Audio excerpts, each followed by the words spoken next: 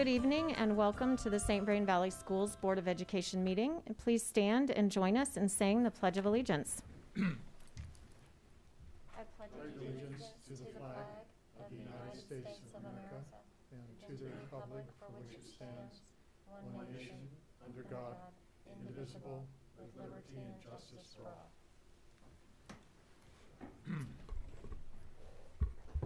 Thank you. Good evening, everyone. It's wonderful to see you.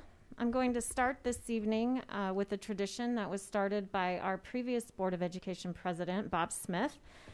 And I'm going to read the district's mission statement. This mission statement is our North, North Star and it does guide all of our decision making. It reads as follows To educate each student in a safe learning environment so that they may develop to their highest potential and become contributing citizens. Barb, can you please call the roll?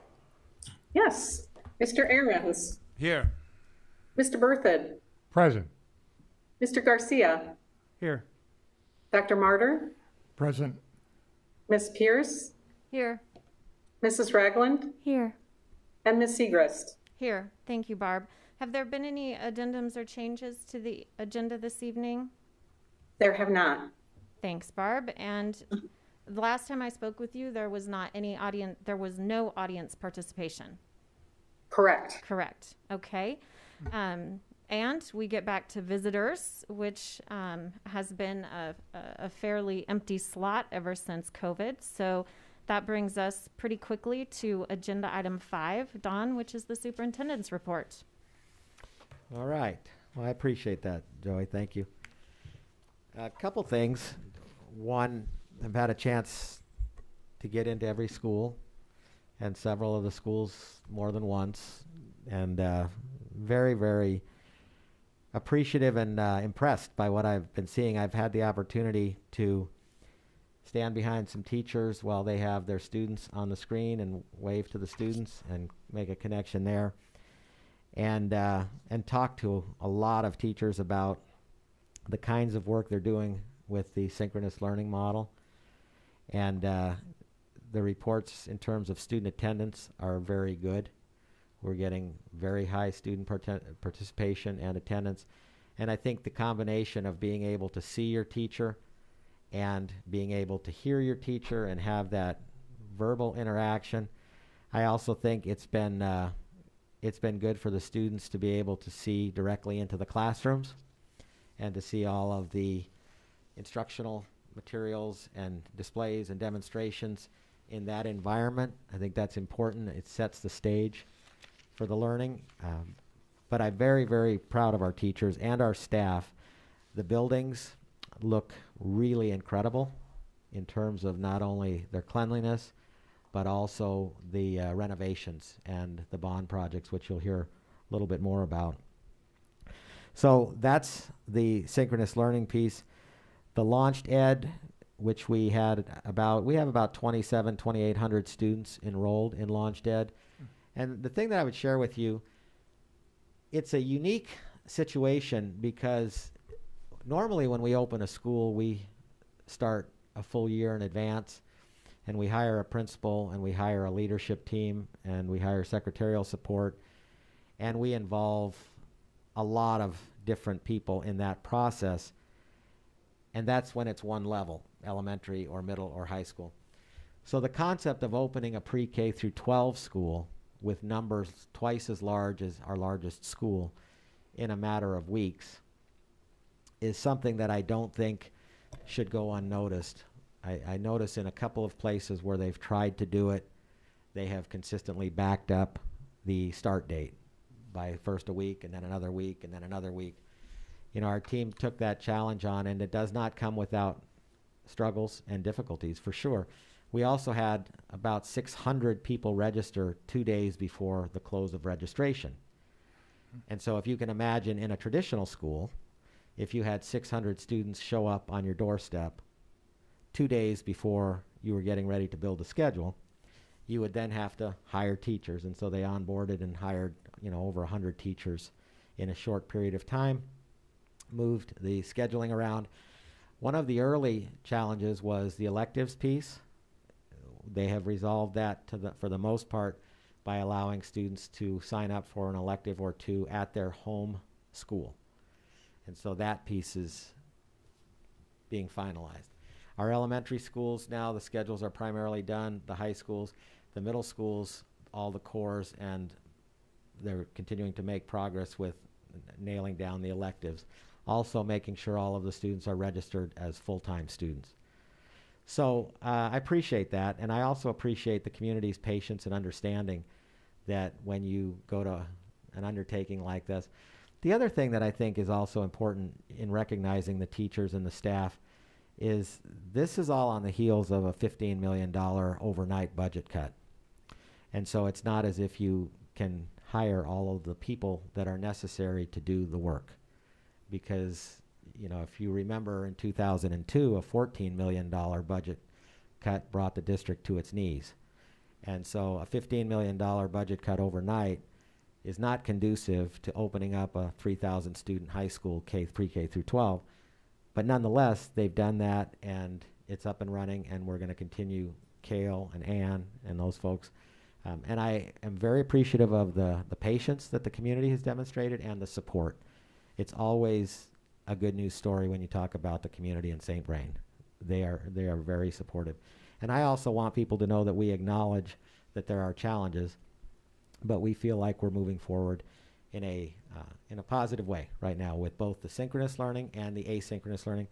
There are going to continue to be some challenges. One of the other challenges that we faced is with technology, sometimes you have people make really poor choices and they will log in uh, inappropriately and sometimes they will do things that are uh, racist in nature. They will do things that are extremely, extremely uh, disturbing. We have put in, uh, put into place mechanisms to block that. You have to log in from a St. Vrain website or email address. You also have to have a password, and then the teacher has to let you in. So all of the things that we can do in working with Cisco, I know that this has been a problem across the state and across the country. Um, it's been reported on by a number of law enforcement agencies. And what I want, uh, and I've shared this with our principals and our staff, is that we have no tolerance for that. And those kinds of behaviors will be turned over to law enforcement and they will be met with significant discipline in terms of from a school district's response. So again, I'm speaking to a very, very small fraction of our students because overwhelmingly they have been outstanding, as have our teachers and staff.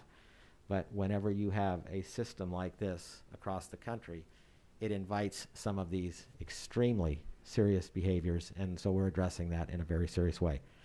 So that's kind of the totality of the synchronous learning and the LaunchED. A recent letter just went out sharing all of pretty much what I shared with you with our community, the, uh, those folks that are uh, signed up for LaunchED. But it's going well, and uh, our teachers and our students and our parents have a lot to be proud of. And again, I want to thank them for their their patience and their support. I also want you to know that uh, Jackie and her team, Carrie and Michelle, and they put together a parent resource support center where you can go in and you can log into WebEx help, you can log into Schoology help, you can log into all of these Seesaw help and things like that. And Jackie will get into that detail with you in just a little bit. We also have our reopening team continuing to meet today. We met with Dr. Urbina. We met with Jeff Zayach, who's the director of uh, Boulder County Health, and Heather Crate, who's the school liaison for this COVID virus response. And then also uh, Jackie, Carrie, and other members of our team. And Jim, thank you for attending.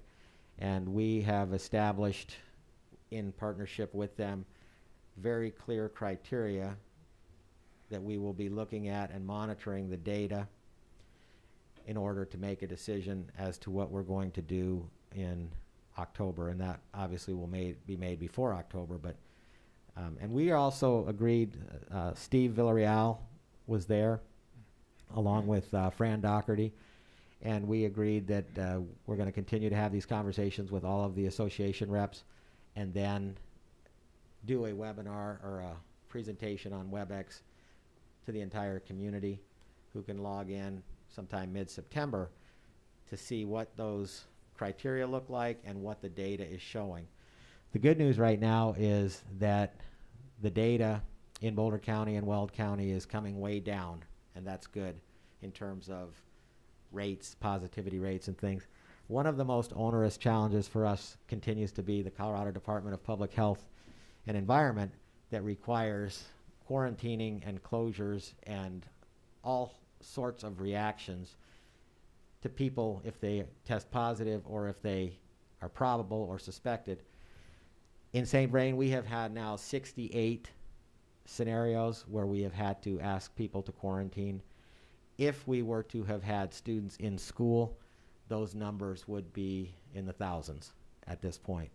Because if you have a high school teacher, for example, and they teach six classes, and they have a suspected case, and all six of those classes of 25 to 30 students then have to be quarantined. That one person being quarantined can result in 150 to 180 students being quarantined. And so we're having to monitor that and, and pay attention to that. Um, and all of that data will be looked at as we make our decisions to, to come back to some form of in-person learning, which, again, to reiterate, is our, is our priority. That is what we're trying to accomplish. Um, so, so I guess stay tuned and we will send communication out to our community with those dates and times and how to log in to participate and to see and hear that information from our health experts. Um, but I do want to emphasize because a lot of times we're looking at the data and it's showing one thing, but what the Colorado Department of Public Health and Environment is requiring us to do in response to not only a positive COVID, but someone who demonstrates symptoms, whether it's COVID or not, until it's proven not to be. And as you can imagine, in schools, lots of people have sore throats and coughs and fevers and demonstrate these things. And when that happens, then you it triggers these requirements. And this is what we're pushing really hard to get some of that relaxed. Um, and at the end of the day, we'll have to see where that goes. But, but we're pushing really hard to come back to in-person learning. The other uh, thing that I would share with you is the COVID testing for our teachers and staff. We're looking to start that in that first week in, right after the first week in September, where they can get two tests at no cost to the individual. And then once we get through that first round, we'll make a determination around October and keep going as long as we need to. And that information will be very helpful for us as well. And Jackie will share a little bit about that with you as she has been immersed uh, for a long time with Greg and others, ironing out all of the details with our attorneys with the Gary uh, Community Foundation, Family Foundation. Uh, let's see. I do want you to know that on a positive note, I've been able to deliver about 25 uh, bells for 25 years of service. I've got two more to deliver tomorrow, but it's been great uh, making the rounds in the schools and seeing some of our, you know, our outstanding teachers and staff members who've been with us for a long time. Very proud of them, and that's been great to see and uh, recognizing them for their great work. Also, in terms of grants, we recently were awarded a multi-hundred thousand dollar counselor corps grant, which gives us opportunities to hire even more counselors than the counselors we added from the general fund last year. And then we also won a hundred thousand dollar grant from Boeing, one of their larger grants, to continue to pursue the work that we're doing at the Innovation Center. And then we won a four hundred ninety-four thousand dollar NSF grant around cybersecurity. So we're moving forward now with opening up and the planning process for our cybersecurity P-TECH program at Silver Creek and Longmont in that area. We'll have to nail down all of the logistics. But so some great news with all of that. We've also been having a good deal of success with our fall sports activities, whether it's the, the tennis teams that you've seen or the cross country teams or the uh, the softball teams that have been out there and it's been really good to see. So very proud of our students, and uh, hopefully some of that success will will continue. And uh, and then uh, I guess the last thing that I would share, October counts. We've had two of them now, and from the first to the second, we ended up gaining about 80 students but our enrollment is down, which is to be expected. It's going to be down across the entire metro area. And so we're going to continue. We've got several counts that are planned, and we have identified what that would mean from a financial perspective and also from a logistical perspective in terms of do we need to move people from one building to the next to balance everything out. And so we're in the process of doing that, but we've got a pretty good handle on on where we are, and we'll continue to monitor that all the way up through uh, the next month and let you know where that goes. So with that, Jackie, I'm going to ask, Sure. you know, let, turn it over to you, and you can talk a little bit about the uh, parent support group, and Yeah. then also you've got some recognitions there, Yeah, and then the, uh, the COVID testing and, Perfect. and whatever else you think you'd like Yeah. to share. Okay. So um, Don is correct in that we have had for a while a number of resources and supports for parents, but they lived in different locations. Some of them lived on DTS's web page. We've sent some of them out in letters, some links out in letters, and just decided that it would probably be much more user friendly for our families if we put all of these resources into one location and that location is displayed very prominently on our, our website, on the, the front page, the home page of our website. So this is what it looks like. Most importantly, um, is an easy way for parents to request personalized text support through a user-friendly form. So regardless of what parents are um, challenged with, they have a way to reach out and to get support from one of our tech people at DTS um, with whatever personalized challenge they might be having. So that's that's first and foremost. Then, as we, um, you know, we give some inf- uh, some general information for those who are still new to using the iPad. Our iPads are set up very specifically for St. Vrain and for the learning that will happen in St. Vrain. So parents sometimes need some direction and some support around the use of the student iPad. And then our website also gives information on internet access, both at the district locations, but also ways to affordably gain access to the to the internet in their own homes. So we give some information to families about that as well. We provide procedures on how to set up WebEx for your child. This is our process that we're using to deliver direct instruction synchronously. So it's really important that our families know how to use Web, WebEx, how to download it, and also how to protect students in terms of their privacy and how to get into different classrooms um, based on the links and the new procedures that Don uh, also alluded to this evening. So we offer a tutorial around WebEx.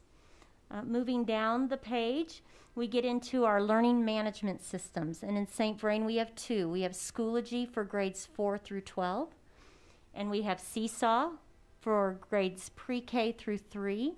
And we offer videos. Our learning services team put together videos that help parents understand our learning management system and what kind of information you can find on that system, how you can access assignments, see what your children are completing, get the directions from the teacher, and it just allows parents to monitor those assignments on the front end. Because then, as we move down, we uh, talk more about Infinite Campus, and that's the rear view mirror. Schoology and Seesaw are the windshield. That's where I get to see what my student is being assigned. Infinite Campus helps parents, as you all know, monitor grades, attendance, and see any assignments that are missing. And so we offer, again, directions, and we've done this for years. It's become more important recently, but we offer directions on how you set up your notifications and, and what are the things that you can monitor related to student um, academic progress in Infinite Campus. Uh, you have seen the English facing side to this. All of these resources are also translated in Spanish as well. And so we've just we've had uh, again these resources for a number of months. Um, we started working on them last spring when we had to go online so quickly. But uh, again, we just after you know hearing some parent feedback even at our last board meeting, decided it we needed to get them all in one location and make it easy for them to find. So I'll stop there on this topic and see if there's any questions or um, anything that you'd like to to ask. And if not, I'll move on to a couple of other agenda items. Jackie, just real quick, can you say how to get there from our website again, or where on our website is that found? Uh, so it is. It's found on our front COVID page. So on the our home page is our a link to our COVID page, Okay. and this is displayed on our COVID page. Perfect, thank you. Pretend you're, uh, you know, an outside parent, um, outside of the district, um, or a parent outside of our system, and you were logging into the website. Can you show exactly how they would get to the COVID site? So from our homepage, and I apologize for the virtue that I don't have a microphone. Um, from our homepage. Thank you, Jackie. From our homepage, and you'll see this large orange bar, um, and that actually is on every school website as well. So this is across our system. You see links here in both English and Spanish. So whichever language is your preference, you would click there to access the reopening plan. And this takes you to our coronavirus website that houses all of the information that we've put together related to school reopening. And we've added prominently on the homepage on both English and Spanish the Technology Support Center button. So when you click that, it takes you directly to that support center that has all of those resources. It's also accessible if a parent um, is on the elementary school page and is looking through the elementary school information. The Technology Support Center is also accessible straight from any of our leveled pages on that website. Thank you. Jerry, also just wanted to say, um, mention thank you to everyone involved in also getting this up in Spanish. Um, it's, you know, uh, I know a huge undertaking, but so important and, and much appreciated. So thank you. You're welcome. Okay, so I'm going to move on to some celebrations that we have this evening. Jackie, can I Sure. just jump in real quick? Are you, are we, um, already seeing solid utilization of that, of the consolidated resources and the technical support? Are we You kn- tracking it yet? You know, we just uh, pulled it all together on Monday Okay, and made sure that everything was translated, and it, it it's live now, so we can monitor that as we go. okay. Yes, This is a one-stop shop, and it was a suggestion that came from our parents, so it was a great suggestion. okay, great, sounds good. We've had significant traffic on our coronavirus website, so our community is going there, um, and we're monitoring levels of page views and traffic, so we can see that. Okay, great, thanks. We can give an update at that at some point. Yeah. Okay, so I I want to just um, talk a little bit today about uh, some things that have been going on in the area of reading, early literacy, to be exact. Over the summer, we had a mobile innovation lab tour. It was our St. Vrain Reads tour. I just wanted to give an update about that because I talked about it earlier in the summer and then said I would come back and update you. That mobile labs had 10 different stops within each feeder and also at Stapp Toyota. We gave away over 3,800 books in grades K through 12. We were highlighted in two publications.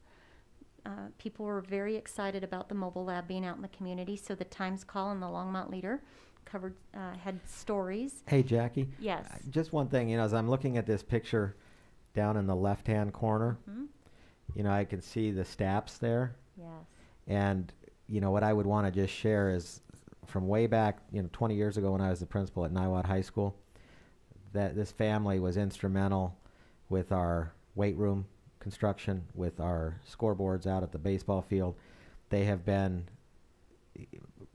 truly supporting us with thousands and thousands of dollars for years. It's an incredible family, and I really want them to know how much we appreciate it. their kids, you know, played football and other things at Niwot, and they're grown now and have their own kids. But it's just a real testament to how Stapp Toyota has come back and continues to give back to this community for years. So, thanks. Great. Thanks.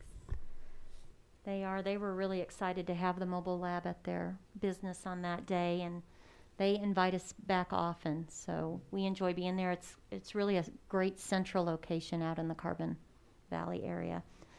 And then uh, we also had a parent who uh, provided this quote about the mobile lab.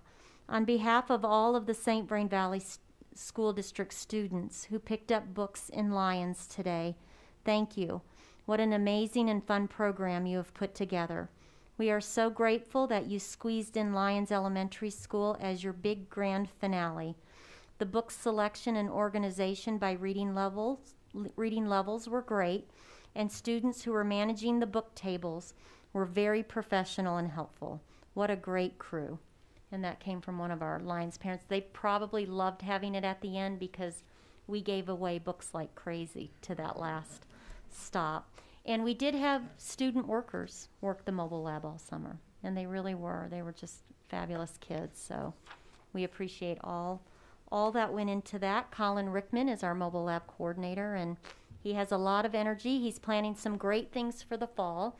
We're going to try to get out to elementary schools and do science, little science in a bag experiments where we host almost a Bill Nye the Science Guy type lesson from the mobile lab, and students can do the lesson using the materials we've distributed um, in baggies at home, along with the teacher who's going to teach that lesson. So we're excited about that. We also are looking to do a design challenge in a bag. And again, have those materials at various schools for distribution and then allow students to do design challenges from home.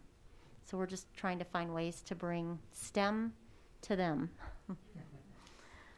Okay, and then another celebration that I have is that we just calculated the summer reading challenge for Mayan.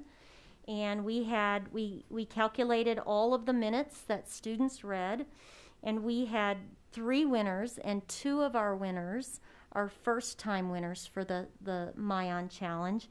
Our first place winner, and they've been winners before, is Hygiene Elementary, and their students read an average of 121 minutes uh, this past summer, and 379 students were involved in their Mayan Challenge.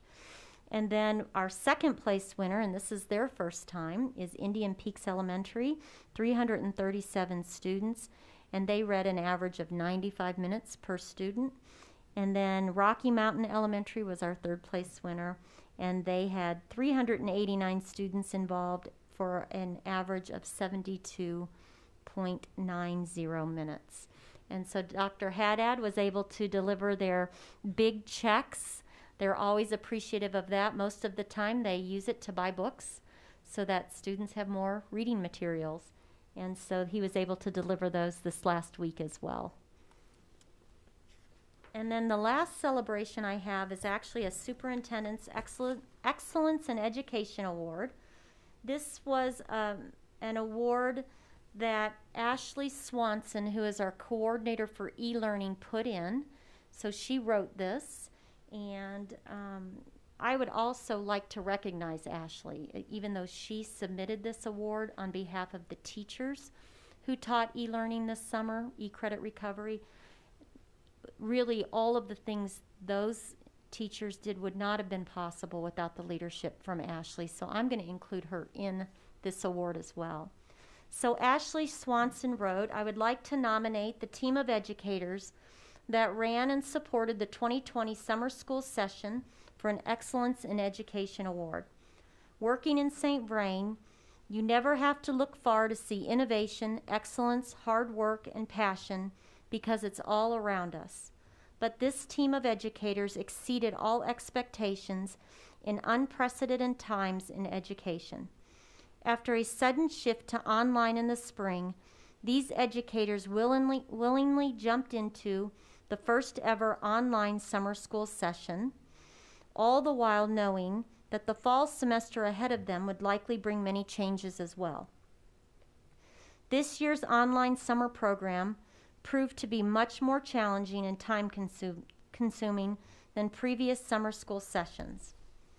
Many of our teachers were working eight hours a day instead of the normal three hours a day. Teachers were answering emails in the evenings and on weekends. They were making support calls weekly, in some cases daily, and providing face to face support for students who needed it. To every late registration, class size increase, parent support request, these teachers said yes. In every conversation and meeting, teachers expressed genuine concern about students completing their courses and getting on track for graduation. These teachers relentlessly pursued student engagement and academic success. These incredible educators represent what education should look like in the middle of a global pandemic and embody the heart and the passion of what makes St. Vrain so great. I am inspired by each of them and thankful for the work of such incredible educators. And I can honestly say that we tracked, especially on our seniors, and um, many of our seniors made it to graduation day because of the work that took place over the summer to help them finish up um, their last credits. And really, this group of educators did whatever it took. I'd like to read their names. The list is long, it's about 20, 20 names, but I'd like to individually recognize them.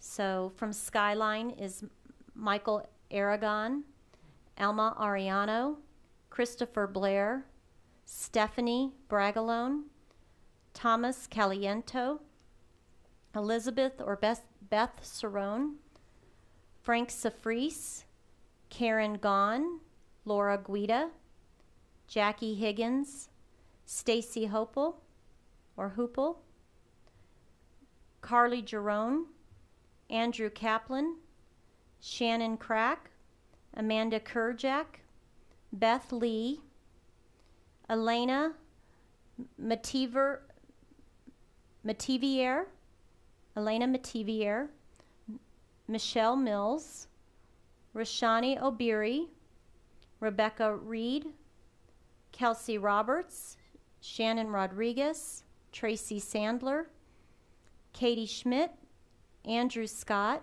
Michelle Scott, Christina Smith, Donna Stamfel, Emily Sturr, Michelle Sullivan Blanken, Ashley Swanson, Greta Von Ber- Bernuth, Aaron Warren, Whitney Weiss, Dallin Wright, and that's it. And so, again, uh, we have certificates. Normally, we would have them at the board meeting, and Dr. Haddad would give the superintendent's awards to them. We are going to find a way to connect with them um, at their schools or in a central location so that we can recognize each of them individually. But they really are a fabulous group and really very much exemplified everything that is right about the teaching profession and everything that's right about the teachers in St. Vrain. And the last thing that I will update you on is just our COVID testing. Um, Dr. Haddad is right. We are looking to begin that the day after the Labor Day, so September 8th. Um, we made a determination just this evening that we're going to use the Innovation Center. We can control a lot of the variables that we need to do with the testing at one of our own facilities. That is a very centralized facility that does not have a lot of traffic right now. It has good traffic flow. It's uh, within uh, and away from a, a, highly populated neighborhood area. There's some houses there, um, but many are still under construction. So we will house it there for the month of September and look as to whether we'll continue to house it there in months after that. We will set the the testing site up on September 4th if all goes well and begin that testing. We are anticipating about 300 tests a, a, day. We will operate from noon to 5 p.m. In order to get the results back in a expedited way, we have to get them FedExed out by by about 5 or 6 each evening. So we will wrap it up by 5 p.m. so we can get the tests out.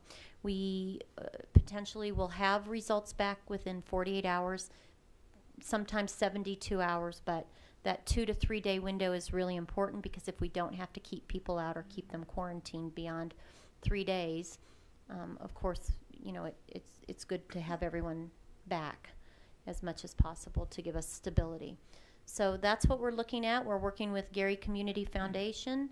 Um, our, our, our district is covering the expense for our employees for those first two tests. The data will be really useful as we look ahead to what our potential models for bringing students back might be. And, you know, I think our, our teachers and staff members have requested easy access to testing. So this is another way that we're able to support our, our staff in St. Vrain.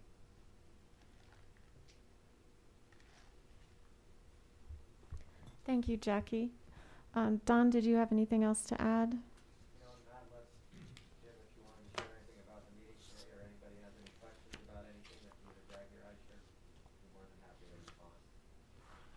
Oh, thank you. Yeah, well, yeah, the meeting was very, uh, I mean, it was very thorough.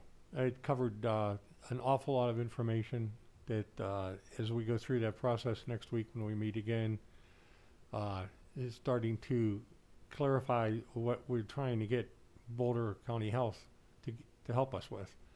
Um, because we, we get settled up with them and then the state health comes in with new, new requirements. So they said that they're pushing f- against that, and uh, they didn't, Don didn't necessarily refer to that, but they definitely are trying to push back at some of the, uh, some of the requirements the state threw at us at the last minute that changed everything we were doing. But I thought it was very good, and I think the planning to be able to get that WebEx with those folks is uh, our speakers and give the information directly from them directly to to the to our our staff and our and our clients. That's I think that's critical. So I'm looking forward to the meeting next Wednesday. Sure, it'll be even more information and more progress. Thank you, Jim. Paula, did you have a question?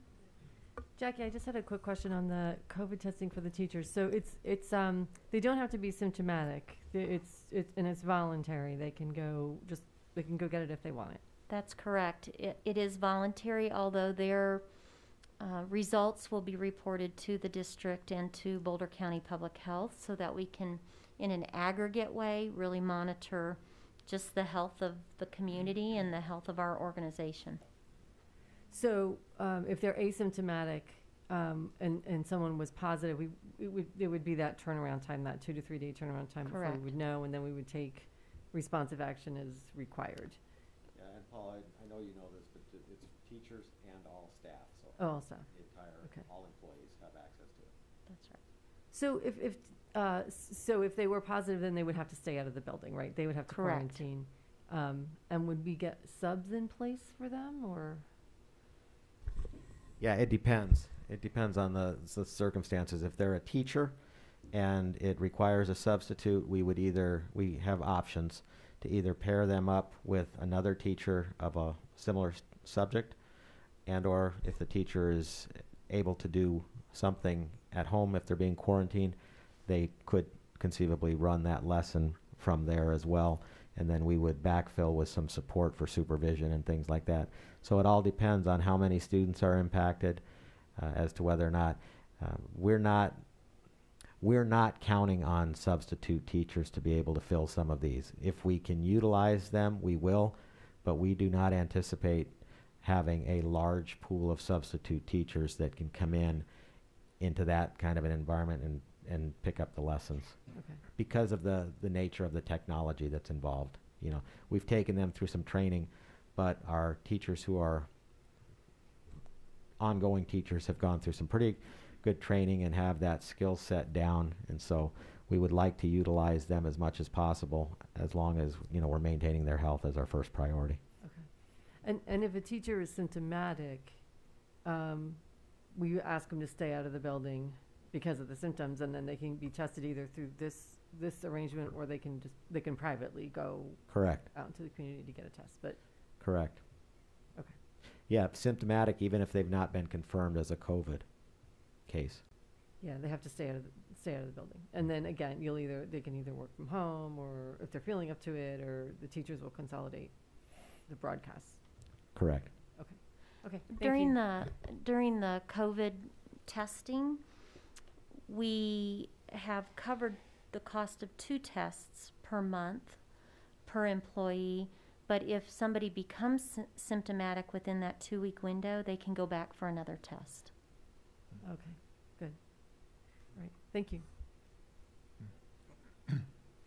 Uh, Thank, thank you. I, uh, Don, I just had a, I appreciated your update on the attendance we saw in the first, the good report on the attendance uh, in the first weekend, the preliminary work that uh, that the staff is doing with regard to enrollment.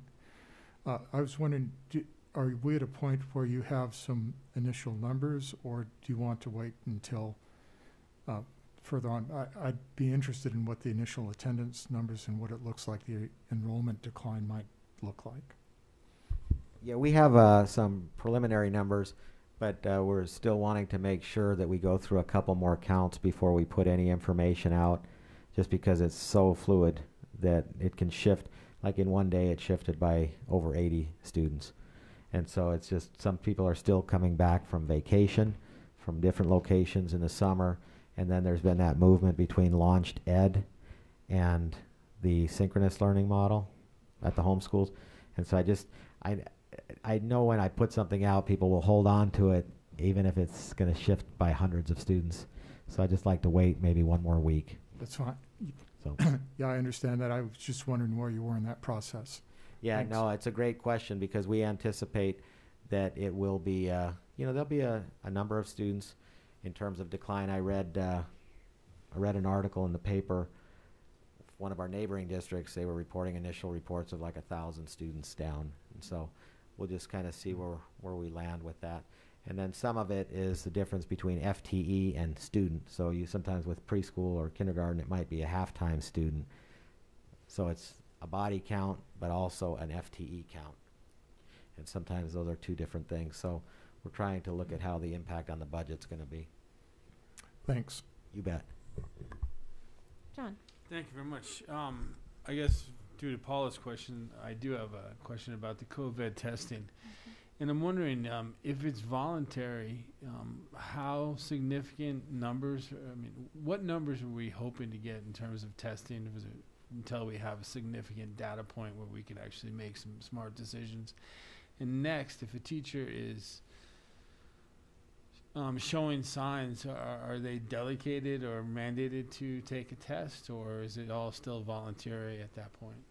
Yeah, so we have requested between two and four thousand tests. So they will be, they will be uh, Gary Community and COVID Colorado will be ready to administer during the month of September up to four four thousand tests, and we could increase that midway through if we're seeing a, a really high high interest.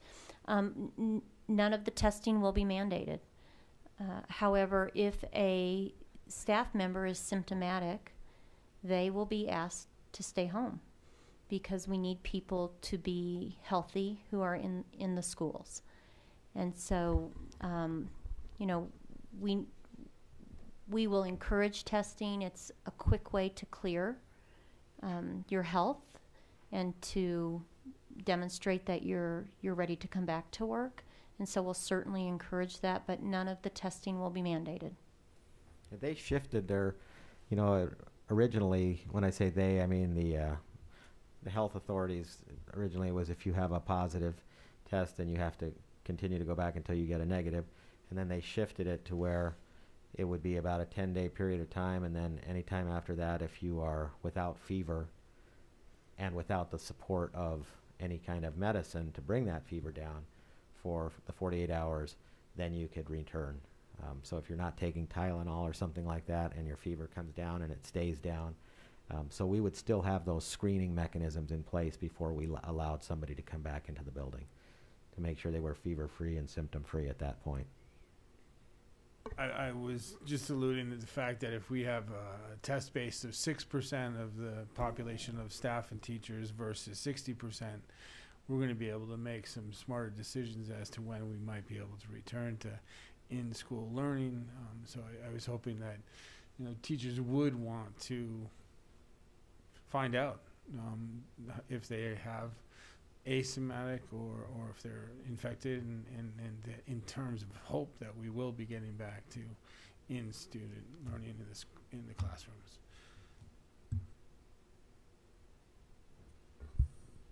Don and Jackie, thank you. I would like to, on behalf of the board, recognize all of the recipients of the 25-year bells, and then Jackie, the uh, Superintendent's Excellence in Education Awards as well. Those are, are two things that, as a Board of Education, we very much look forward to celebrating in person here at a meeting, and we aren't able to do that this year. So thank you for Jackie for delivering those, Don, you know, for delivering those. I know that that takes extra time out of your day, but I'm pleased that you can connect with those people and uh, we congratulate them and, and thank them for everything they do for St. Vrain and public education. Thank you. Don, as you know, I was thinking back as everybody was talking and um, you were giving your update and Jackie w- was sharing hers and I was talking with Carrie before the meeting. Um, you brought up LaunchED and really opening a whole new school in a, a very short period of time, multiple schools technically, if you look at the number of students. But when you think back over our first conversations, first meetings in March, um, you've done that with the entire district, really shifted um, more than once, technically, to online learning, and then this semester starting with synchronous and asynchronous learning. And so I just want to just publicly thank everyone who's had a hand in that. Um, and I know, Don, your, your leadership has been instrumental. Without the systems in place and the funding in place financially uh, being so strong, this really wouldn't be possible. So thank you for that foresight and leadership. And thank you to everyone who's had a hand in executing. I can't imagine the magnitude. Um, thank you. No, I appreciate that a lot, Joey, and I, I will tell you that uh, we we definitely appreciate it, and it's just, and I know that you guys have shared this with me many times. Our teachers and our staff have just been incredible. I mean, beyond incredible, and and our parents have too. You know, our parents have reached out in so many ways to try to offer support, and you know, we are not by any stretch of the imagination perfect, and we have had some challenges and some struggles and some uh, bumps in the road, some slight and some pretty significant, um, as we tried to get LaunchED up and running, and we acknowledge that. But uh, everybody's forging ahead, and we're really, really uh, making good progress, and we're going to continue to do that. Our commitment is high. It's just uh, some of these waters are uncharted, and uh, but without our parents, without our students engaging the way they are, without our teachers, without our staff, and our team, um, none of this would be happening. So I'm very, very appreciative and want to recognize our entire community for their support. Oh, absolutely. And bumps are to be expected when you're doing something entirely new. But at the end of the day, you know, I started the meeting out by reading the district's mission statement. But at the end of the day, I know every single person who's involved in this in this endeavor is committed to that mission statement. Um, and and bumps can be crossed, right, and repaired, and absolutely. Um, so thank you. Just recognize everyone um, who's who's done that. You know, I was volunteering for the Sunrise Stampede a couple weekends ago, and um, you know spent a- good chunk of, of the day there. And community schools was there working uh, on a Saturday to get everything together and everything ready for the students to go back to school that next week.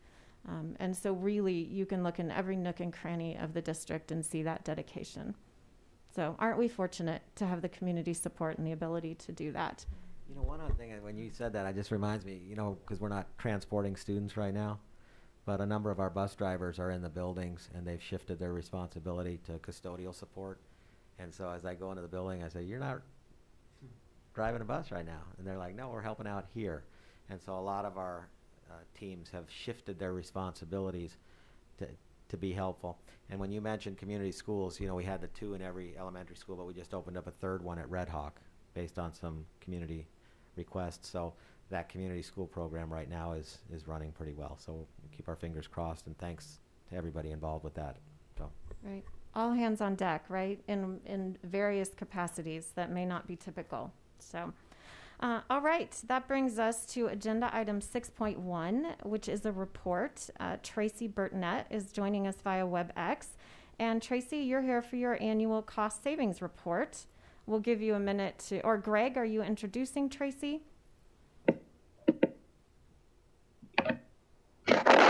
Sure, I can introduce her. Um, okay, I just Good saw. evening, everyone. Sorry, I saw your initials up there, and I thought maybe I had it out of order. So I'll let you take it from here. No, that's that's great. Thanks. Um, Tracy and her staff do a wonderful job um, in procuring for our district. They work very hard. They work diligently, um, and she's going to just give you some information in terms of what that's looked like um, over the past couple of years. So, Tracy. Hello, Thank you. Tracy. Thank you. I'm I'm very pleased to join the board again um, and present uh, our cost savings, our our activities in your procurement department.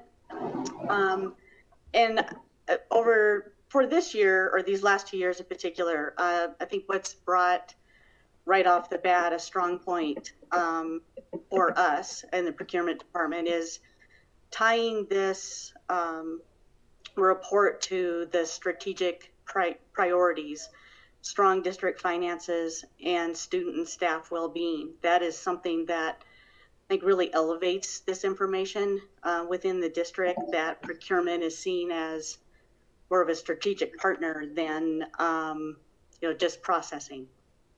Um, but our our report we demonstrate the value of you know the services we provide through this report um, not only cost savings data, but uh, vendor participation in in each solicitation.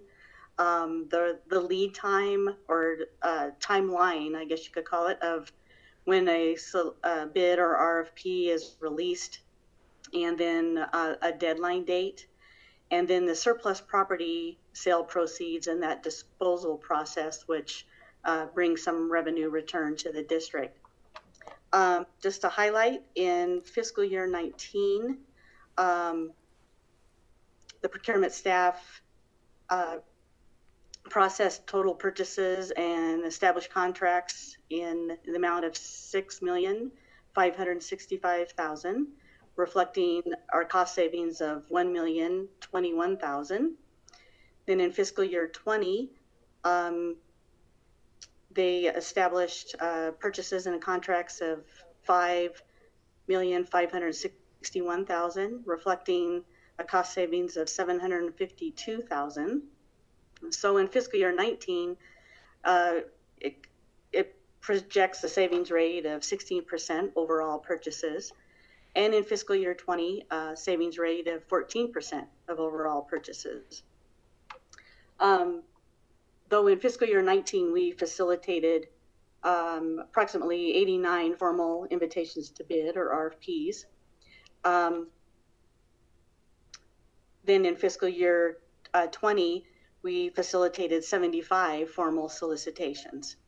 Um, and one of our key performance indicators is is tracking the turnaround time or the lead time.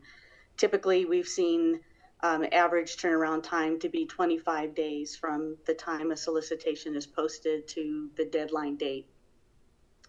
Um, then uh, in, but in fiscal year 20, um, due to the pandemic, uh, and then from working from home and more electronically, um, we gained some efficiencies that we learned um, of improving that turnaround time to an average of 14 to um, 18 days from the deadline date. Um, and really, that was really um, the vendors uh, and the, the market participating um, that they previously they had been on board uh, with processing and submitting bids and solicitations electronically um, before you know we went to this process. Um, so going full electronic, uh, we did s- successfully complete 24 formal solicitations um, and working through a virtual virtual processes for um, pre-bid meetings or even a virtual uh, walkthrough. Um, so, you know, being saying that, um, as far as our electronic, going full electronic, I, I'd like to point out it's on, I believe, the the bottom of the spreadsheet for uh, the cost savings from July 2019 to 2020. There's a bottom section I've um, put in italics the the project descriptions um, of those projects, and those were those were full electronic um, released, and we got proposals back electronically. But I wanted to highlight the asbestos project for Spark. That was the the first kind of virtual walkthrough we did with suppliers that were pre-qualified, and um, that was very successful. We we partnered with um, the engineer and the procurement staff that helped facilitate a virtual walkthrough, and um, the the vendors understood it. It it went really well. It just just the amount of time that it saved, and the expense. You know, not only for the district but also for the supplier. Um, returning to our overall uh, procurement value results, the um, the graph there, you can see over a seven-year history, the procurement team has continually achieved a cost savings, you know, uh, significantly that um, our our department total cost um, to the district, you know, we're more than covering ourselves. Um, and also wanted to reflect, um, you know, I overall really uh, trust is the most valuable asset in public procurement, and I, I think this report over the the past two fiscal years really reflects the high level of trust, um, integrity in the process. The procurement team projects, and really the trust within the community that um, you know St. Vrain is respected and our suppliers and that participate know um, the integrity of the process is kept and it's fair and uh, it i'm just really proud of kind of the results over you know my tenure being here as director of procurement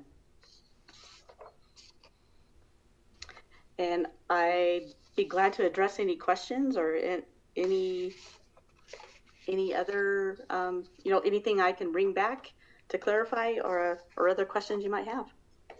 Thank you, Tracy. Do board members have any questions or comments? Go ahead. Hi, Tracy. Um, thank you. I don't really have a, a question because I find the report very thorough. Um, I really uh, appreciate the format of the whole thing, how you kind of walk us through your, your process and how the cost savings are generated, and then how you compare that to your own budget. Um, and truly, you made the point, you, you all pay for yourselves and are, are really a critical point of the overall financial um, responsibility that we have as the in the district as a whole. Like centralizing your um, skill sets in your department and um, trusting you guys to handle it. I'm sure takes a lot of stress off of every department, particularly transportation and O and M, and the ones that utilize you a lot. Um, I'm sure they appreciate it tremendously that you can actually spearhead all of this and manage all of this on their behalf. Um, but I just want to thank you for the for the report, the um, accuracy of it, the comprehensive nature of it, and um, all the great work that you guys that you guys do because it's it's critically important that um, as far as the public and public tax dollars that we are responsible for those. And, and this is a perfect example of that. So thank you. Thank you, Paula. Dick? Thank you, Joy. uh, Tracy, I, as I did last year, I want to uh, uh, recognize really the, the excellent work that you and your department are doing. And uh, just a couple of comments. Uh, you have focused on the value of your work to the district uh, primarily within the context of uh, money saved uh, and the uh, regular purchasing process that uh, we go through. I, it's clear that you're saving money and, in, that the cost of your functions are um, more than compensated by, by the money that is being saved through your operations. But I, I would submit that, as Paula uh, mentioned, that it's, it's every bit as important. Uh, your role, the, the part of your role which uh, clearly establishes that every uh, cost savings that is possible is being uh, achieved for our district, and the process is squeaky clean at every level, um, is is in my view as important as uh, the dollars that you're saving uh, for our district operations. So, uh, I think that you and your department are to be uh, tremendously commended for not only um, ensuring that every public dollar is uh, well invested, but also, uh, and that the district receives this, the dollar savings, but also providing um, clear assurance that um, the uh, function of your uh, department uh, helps, uh, makes it clear that um, all of the processes uh, for which we have fiduciary responsibility uh, are done in, uh, with a tremendous commitment to excellence. So thank you um, to you and your staff for your continued good work uh, over multiple years, uh, and this last year being the most recent example. Thank you, Dick. John? Thank you. Yeah, thank you, Tracy. Um, I do want to also commend your efforts and your whole team. What I enjoy seeing is the number of bids and the ranges, and, and I think that really shows the due diligence in terms of really procuring the best, um, not always the, the, the well, the best route available for the district to save money and to get the best product. So thank you very much. I know you do a great job, and the report is well orchestrated and put together. So thank you. Tracy, I'll echo what already, uh, what board members have said, and thank you for being here this evening, and please pass along to your uh, entire department, the Board of Education's appreciation. Yes, and thank you. That uh, appreciation from the board, you know, the superintendent, uh, Greg, you know, all the leadership is greatly appreciated, and that that just means a lot to all of us, and just the support that you have have for us and and backing us that way. Thank you. Absolutely. Yes, be safe. Enjoy your evening. Yes, thank you. Thank you. Agenda item seven is our consent items. Paul, I think you were going to make a brief comment about the two policies before we, before we jump into that. Uh, yes, very quickly, I just wanted to remind the board and the, and the public, um, that we are working through a chunk of policies that need to be updated to comply with, uh, recent changes to Title IX at the federal level with Colorado state legislation that was passed, um, this last spring, as well as reopening schools, uh, in the COVID-19 environment. So the two that we have added to the consent agenda today are an extension of all of that. Um, JII, Student Concerns, Complaints, and Grievances, and LBD, Relations with District Charter Schools, have been highly vetted through our standard process. These recommended changes come uh, very often from CASB or from our attorneys. They are parsed out to each of the departments and the policy owners uh, who go through it with staff looking for best practice, law compliance, um, really uh, through the eyes of, of, of reality and how best to align these policies with the work that we do and comply with the law. Um, and then they, they are uh, reviewed by our attorneys and they get back to us. So again, it's a very, it's a very detailed, very thorough review process. Everything is highly vetted by the time it comes to us. This is a continuation of that process, um, and I believe there's still eight that are in the hopper. Um, they will get to us when the process is, is done, and they all will pertain to students. They'll be in the category of J, so they'll, they'll be under students. And I think Jackie is, is running with those now, but we will get those when those are ready. Um, just continuing the process, and I, that's it. Just a quick update on all that. Thank you, Paula. Then, uh, before I res- read the consent items, did board members wish to pull any? We have two this evening. Did board members wish to pull those? All right. Then we have uh, consent items 7.1 approval, first reading, adoption, board policies JII, student concerns, complaints, and grievances, and LBD, relations with district charter schools. 7.2 approval of request to grant an exception to board policy GBEA, staff ethics, conflict of interest, Kelleher. I would entertain a motion for approval, please, So moved. by John and a second. Second. By Chico. Barb, can you call for the vote, please? Mr. Arens, Aye. Mr. Berthold, Yes. Mr. Garcia, Yes. Dr. Martyr, Yes. Miss Peairs, Aye. Mrs. Ragland, Aye. and Miss Siegrist. Aye. Thanks, Barb. Agenda item eight brings us to our action items. Eight point one is a recommendation for the adoption of resolution equalizing the director district population for twenty twenty. Uh, Scott, I believe we have you with us on WebEx. I'll get, give you a second to unmute and get settled if need be. Okay, I think I'm live. Do you see me? Uh, I can see you, absolutely. It's been a while. It's, uh, Okay. it's a pleasure to see you. Yeah, good to see you all. Good evening. Uh, I've got two items, and I'll just uh, I'll start with the director districts. Uh, this is required by state statutes every four years to equalize the director district populations. Um, so it's a state statute. The primary purpose is to make sure that the populations of each district are as close as possible that the uh, districts are contiguous and they're compact in shape. Uh, so the primary purpose is to equalize them so that we're drawing future board members from an equal area.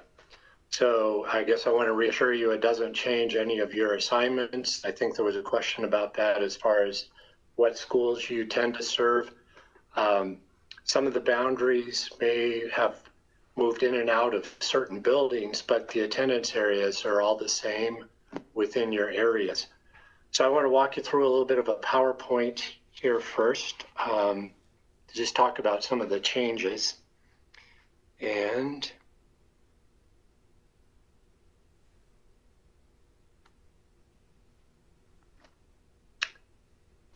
okay, so from the beginning, uh, do you all have this uh, chart up? Yes. Yes. Okay, great. Um, so this is every four years, uh, substantially equal populations. We try to keep it within 1%. That's kind of been a, a standard we've held of each other. Um, here's what you can see how things have changed over the past four years. Um, the blue bars are the current populations of the, the districts. So you can see that D, F, and G are the significant areas of growth.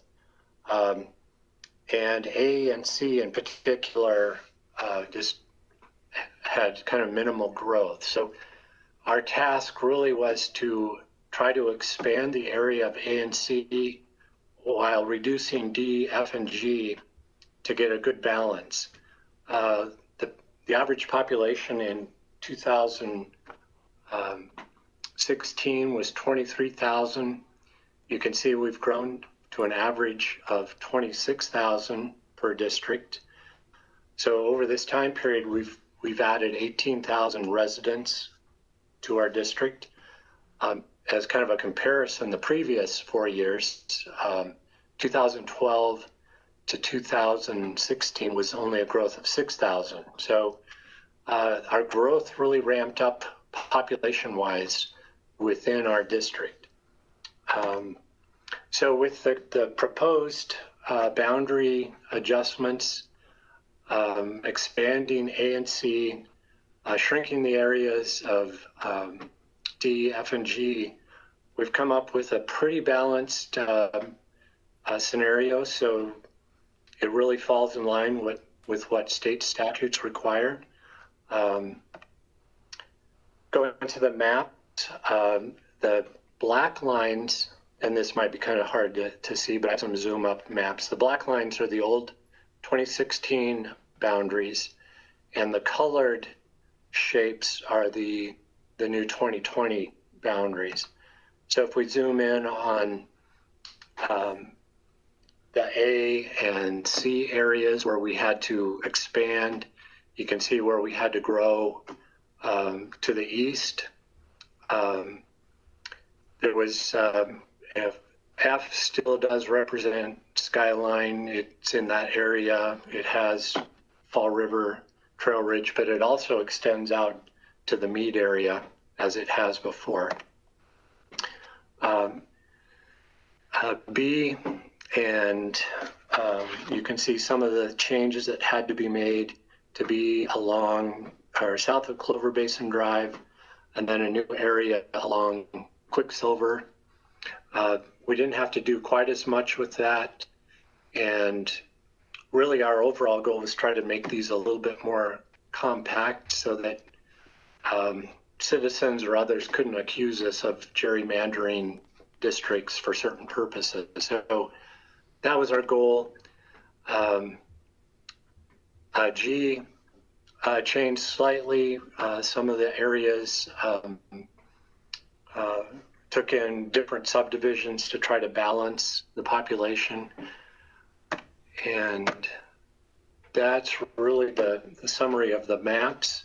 Um, really, it was it's kind of a team effort, effort between Ryan and Heidi and our department of pulling building permits, certificate of occupancies, and um, census data, and then trying to comply with the state statute requirements. So, in your packet, um, also included is the resolution, the uh, legal descriptions, and then the chart that shows where the physical building is. But, but once again, that doesn't need to represent or change any of the ways you've been representing schools. That's just where the physical building is, but the attendance area has pretty much stayed the same among each um, director district. So with that, I'd be happy to answer any questions. Thank you, Scott. Any uh, questions or comments by board members? Paula? Hi, Scott. Thank you. Um, so just to, to clarify, I'm going to say back to you what I what I heard you say. This I understand the point of this. It's um, legally we have to balance out um, each of our areas that uh, Right. we are elected from. But it's this is primarily Mhm. for the purposes of our elections, right? So we have an equal number Cor- of people that are. So anybody living in my district F, the new one, for example, next year my my seat is up. Um, we'll have the opportunity to to elect somebody new. It doesn't have to align with the schools that we choose to represent because there were some No, shifting No, around it of doesn't. schools. So, yeah, this doesn't do anything to you, who you represent. It's just a state statute requirement to balance for the purposes of elections and where they draw uh, future directors. Okay, thank you. I thank you for clarifying. Dick? Uh, Thank you. Uh, Scott, this is Dick Martyr. I- It looks, Yeah. we also received, good to see you. Uh, We also received um, Yeah. a list of facilities by director district. And that list is, there's some minor changes uh, with regard to the schools that the di- directors are, uh, at least occur within the district. And Right. it was my impression, uh, perhaps I'm wrong, but it was my impression that uh, those new schools, for example, for Director District E, the one that I serve, now includes Blue Mountain, um, and that I would be the contact point, if you will, for that that jurisdiction, and that it was not true before. Yeah, so there, again, these are just the, um, the physical buildings, uh, that are in these new boundaries. So, uh, um, your, dir- your director, District E, correct? Yes. So Timberline moved out, and Blue Mountain moved in.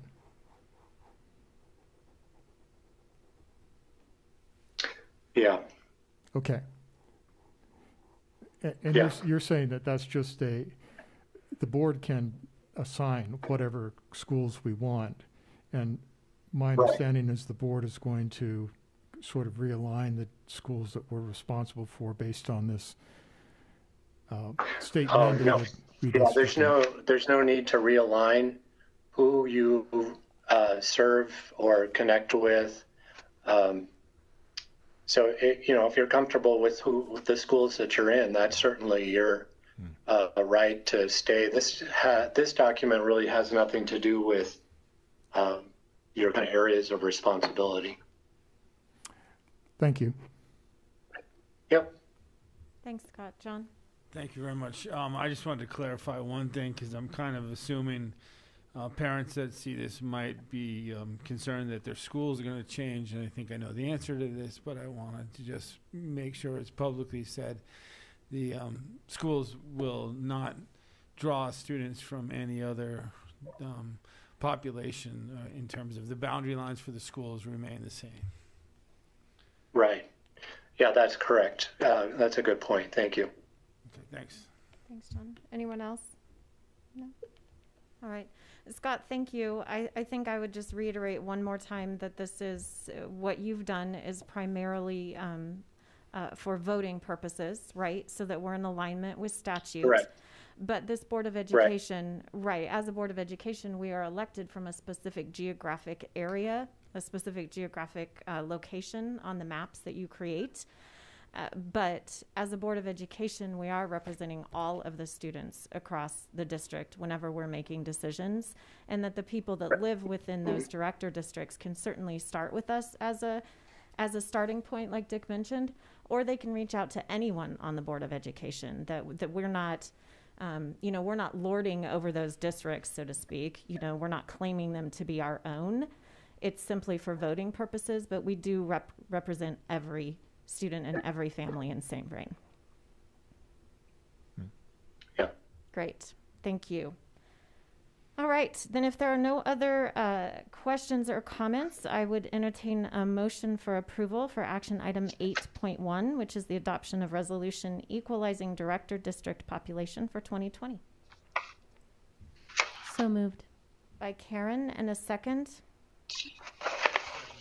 By John. Barb?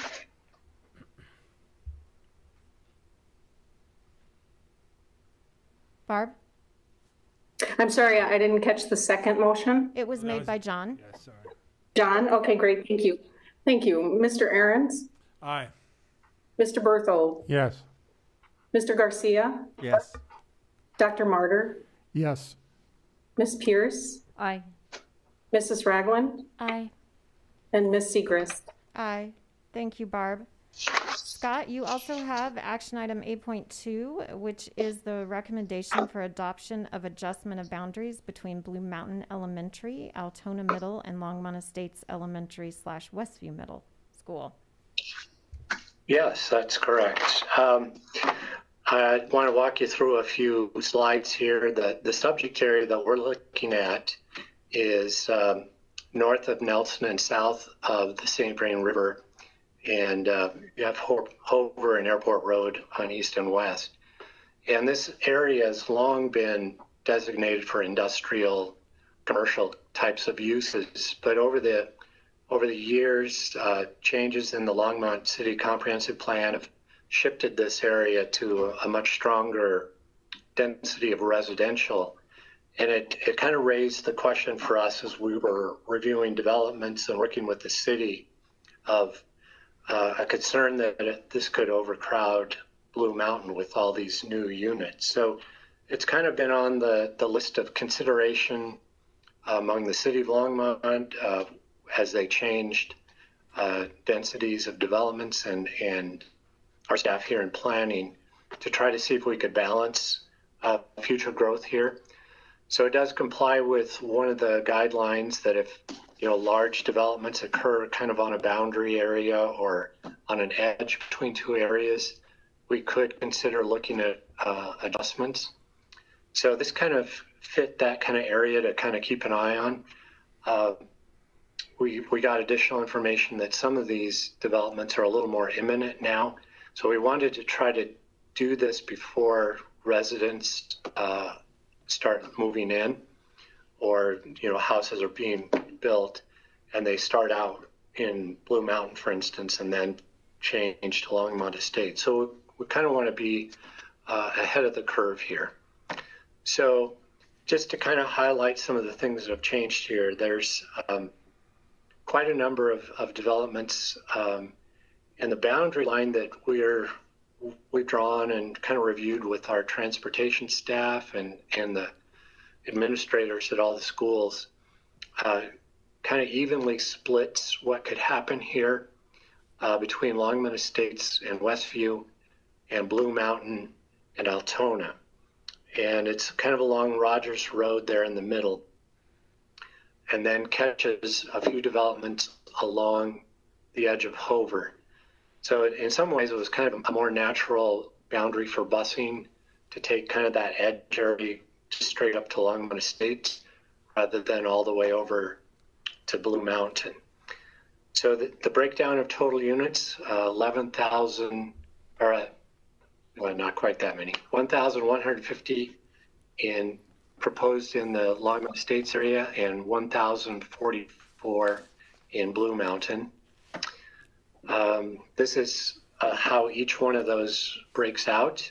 Uh, so there's a couple of potentially pretty large ones, Mountain Brook and Flatlands annexation. Um, according to the city, uh, the more imminent ones are Fairground Marketplace, Nova annexation, and then some phases of Mountain Brook. So a few in each um, of the two areas. So this would be uh, technically how we would draw the, the Longmont Estates and Blue Mountain boundary. Um, we would uh, implement this um, as soon as, as possible or as soon as you as vote, if you choose to, to vote in. I guess I want to add one other thing that we did work with transportation and uh, made sure that there's no existing resident that is impacted by this boundary. Um, there are only about 10 students in this area right now. And they're, they're kind of in a variety of schools, some in Blue Mountain, Altona. They would remain. There's some that open enroll to Longmont Estates, and then there's some that just are open enrolling to a variety of places. So there's not many students in this area right now, and none of them would be changed uh, with this boundary. So I think that's all I had on that. Are there any questions that you have? Questions or comments? No? No? All right. Doesn't appear to be any questions or comments, Scott. We thank you for being forward thinking and um, yeah, made it easy. So appreciate it. All right. With Okay. that, thank you.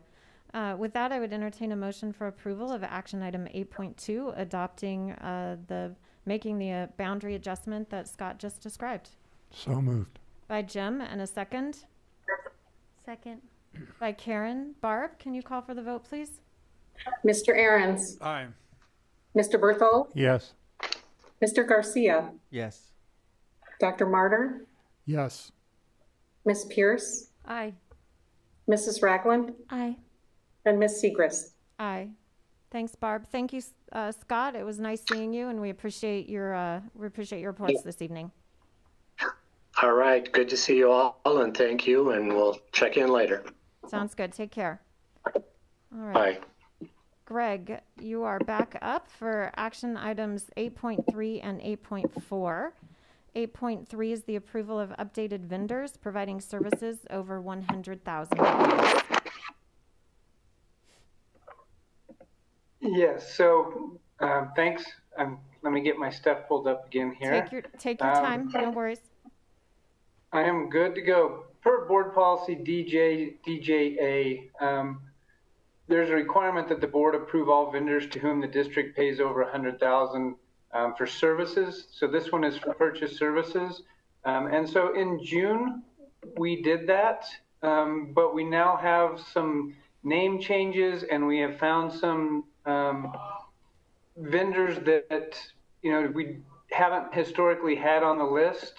Um, and so we are adding those in, um, and I'd be happy to answer any questions related to that. Thank you, Greg. Any questions or comments from the board? Doesn't appear to be any questions or comments, Greg, so we'll go ahead and, uh, I'll go ahead and, uh, call for a motion for, uh, approval of eight point three, which is a recommendation, uh, to approve, uh, updated vendors providing services over one hundred thousand. So moved. By Chico, and a second Second. by Jim. Barb? Mr. Arens, Aye. Mr. Berthold, Yes. Mr. Garcia, Yes. Dr. Martyr, Yes. Ms. Peairs, Aye. Mrs. Ragland, Aye. and Ms. Siegrist. Aye. Greg, action item eight point four is also yours, and this is uh, vendors providing goods over one hundred thousand dollars. Exactly, and the same board policy applies. Um, and we've had some changes. We have a new uh, dairy vendor. Um, but the other thing that I would like to ask is that the board um, approve the increase of the Home Depot Pro line item for this year. We have it as 125,000, but our nutrition service department uses them to uh, purchase paper supplies. And with uh, remote learning, we have seen a, a, large increase in how much paper supply we need in order to, you know, to provide those meals um, kind of as a grab and go versus in the lunchroom. So I would ask that you approve um, the Home Depot Pro to be 250, 250,000. All right, thank you, Greg. Any uh, comments or questions on that? Dick? Hi, Greg. Uh, this is Dick, this is Dick Martyr. I, I was just, I had a question about the uh, increase in the Colorado Department of Labor and Employment from $100,000 uh, last year to 600,000. Uh, can, can you uh, shed some light on that? Yeah, we're, we're looking into that, but um, right now there it appears as if they're allowing substitute teachers if they were working a certain amount of time during the course of the year um, to apply for and receive unemployment. So that, that's the, the biggest part right now. It's not any of our normal employees. It's related to substitute teachers, and we're looking into that to see um, to see how that how that works, how long that lasts, those types of things. And, and so the, uh, the anticipated amount here is one that we may not necessarily, uh, pay, but it's kind of a contingency to, Correct. to We're let us, just alert us. we're, probably uh, highballing that. So Thanks. Any Yep. other questions or comments? All right, then I would entertain a motion for approval of action item eight point four, the recommendation uh, to approve the updated vendors providing goods over one hundred thousand. So, mo- second. Uh, a motion by Karen and a second by John. And Barb, can you call for the vote, please? Mr. Arens, Aye. Mr. Berthold, Yes. Mr. Garcia, Yes. Dr. Martyr, Yes. Ms. Peairs, Aye. Mrs. Ragland, Aye. and Ms. Siegrist. Aye. Thanks, Barb. Thank you, Greg. It was nice seeing you this evening. thanks, you too. Yes, take care. Right. You too. We don't have any discussion items this evening, so this brings us to uh, the adjournment of our meeting. I did want to mention that uh, our study session in September has been moved here uh, to the boardroom so that we have access with WebEx. We will no longer be meeting at Mead Elementary School. And so, Don, if you don't mind, um, if I extend an invitation to the board individually if they would like to uh, visit Mead High School. You know, typically as a Board of Education and as a district, we would we would celebrate uh, the grand opening of an elementary school, and with the current conditions, we're not able to do this. So, if the board would like to to tour, um, is it all right if they contact you? Absolutely, yeah. And John and I had a nice tour of the building the other day, and anytime you all uh, are interested in seeing any of the schools, I know you are pretty active and out in the community a lot, and you're in the schools a lot, so absolutely, we'd love to get together anytime and take you there. Thank you. Or on I'm- your own if it's more convenient, whatever, whatever works best for you. Great, yeah. Yeah. Thank you very much. I suppose it's not fair of me to ask you that. Oh, that's good. I- Necessarily. Yeah, no, I- Beautiful school Um, and It's a so great, well laid out. yeah. I've only seen the outside and it's absolutely gorgeous. Yeah, Yeah. Betsy's done a really nice job of coordinating everything along with Brian Lamer and his team, and Mhm. turned out really nice. Great. Thank you. Well, and certainly board members could contact Betsy as well. Um, but always important to initially go through you. So, No, thanks. all right. Did you have any closing comments, Don, after um, at the completion of the meeting, or? No, thank you though. All right, great. Then our next Board of Education meeting is right back here in the boardroom on Wednesday, September 9th at 6 p.m. for a regular meeting. And I'll see if I can say this. I seem to mess this up every time, but I would call for a motion for adjournment, not approval, Barb, adjournment. So moved. By Karen and a second. Second. By Jim, all in favor? Aye. Aye. Thank you, everyone. Good night.